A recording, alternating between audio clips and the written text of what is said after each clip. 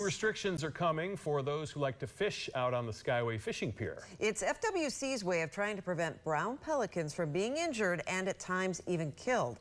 Eight on your sides, Nicole Rogers joins us live on the pier with those new rules that are going to go into effect October 1st. Right, Nicole?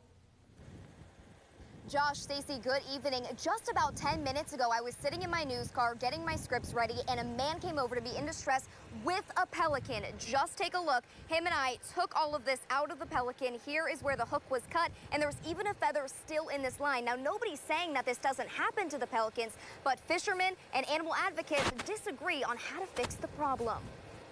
Mike Gaby has been fishing on the Skyway Pier for decades. It can be a hobby, it can be a sport. For a lot of us, it's a way of life.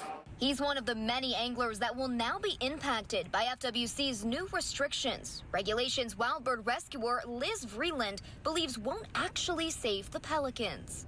Limiting the number of hooks um, is not effective because what I've seen in my history since 2005 out at the Skyway Piers is that usually the birds get tangled, not hooks. It's the line.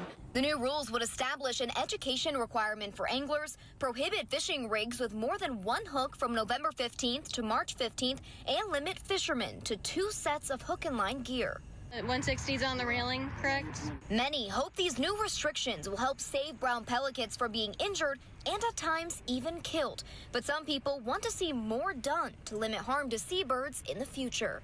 I do think what was proposed today is going to help, but I think it's going to fall a little short to make a meaningful difference for pelicans. It would have required a ban of multi-hook gear year-round. Now, this is not an end-all, be-all. The FWC plans to revisit these rules that are going to be implemented right here on the pier in two years to see if they need to make them stricter, if they need to loosen the restrictions, all in an effort to save those pelicans. Live in Manatee County, Nicole Rogers, 8 on your side.